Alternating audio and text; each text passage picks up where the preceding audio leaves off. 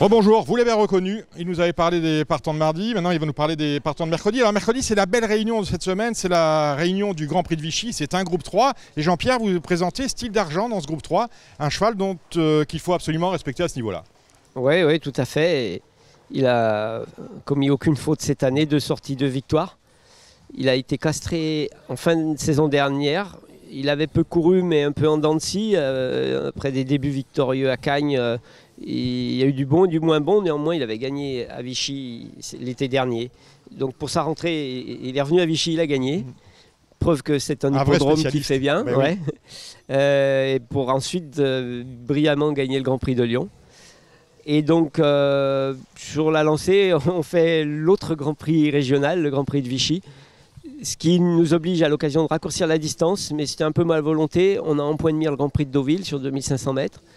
mais plutôt, passer, voilà, plutôt que de passer par le prix de Reux, qui est la préparatoire théorique à ce Grand Prix de Deauville, j'ai préféré qu'on reste à domicile, euh, quitte à raccourcir un peu la distance pour lui éviter de longs voyages à Deauville en pleine chaleur euh, à seulement trois semaines d'intervalle. Donc plutôt une place pour ce... Non, non, on espère le mieux quand même. La distance est un point d'interrogation. Euh, c'est un lot homogène, s'il est capable de se placer, il peut peut-être bien gagner. C'est un grand champ de course et c'est un cheval qui a de la bataille. C'est sûr qu'il a montré dernièrement qu'il faisait très bien les 2004, mais je ne crois pas que ce soit un problème insurmontable le raccourcissement de la distance. Il a tiré le 10 à la corde, c'est pas forcément un, gros inconvénient pour lui parce qu'il est maniable, il peut même prendre le train à sa charge. Et voilà, mais il a l'air très très bien. Donc euh, si on pouvait réaliser le doublé Grand Prix de Lyon, Grand Prix de Vichy, on serait pas mal.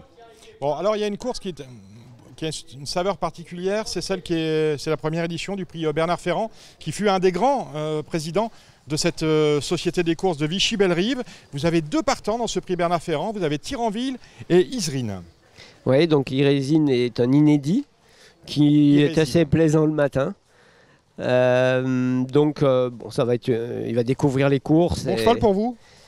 Écoutez, c'est difficile à dire quand il débute aussi tardivement. Et puis nous spécialement, euh, on a des pistes qui ne nous permettent pas d'avoir euh, des, lignes très précises le matin, parce qu'ils travaillent que sur le sable. Donc ils ont toujours besoin d'une course ou deux pour s'habituer au rythme des courses et à la surface du gazon qu'ils ne connaissent pas. Mais c'est un poulain plaisant. Ça sera sans ambition quand même pour ses débuts, mais il faut le voir courir. Et Tiranville, ben, c'est bien défendu pour ses deux premières sorties, de deuxième place. Euh, là, il revient sur 2000, c'est plutôt mieux, je pense. J'avais pas trop le choix pour ne pas le déplacer. Euh, à Lyon, avec 2004 ou 1600, j'ai fait l'essai des 2004.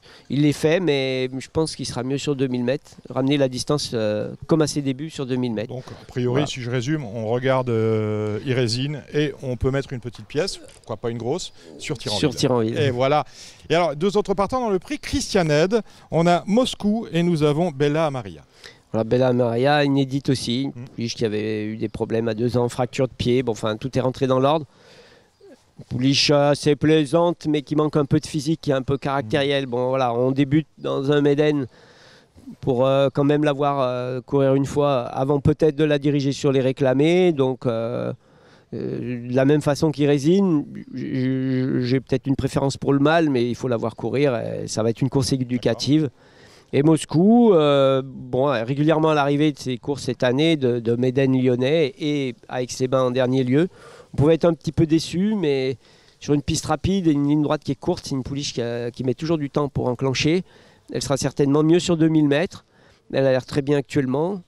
Donc euh, je pense qu'elle devrait au moins disputer les places. Eh bien, écoutez, mon cher Jean-Pierre, nous allons partir à Moscou avec vous. Merci Jean-Pierre, toujours clair, très précis. Je vous souhaite euh, bien de toucher des Jean-Pierre Gauvin parce qu'il y en aura dans cette semaine de galop, du Festival du Galop et on se retrouve très bientôt avec d'autres informations.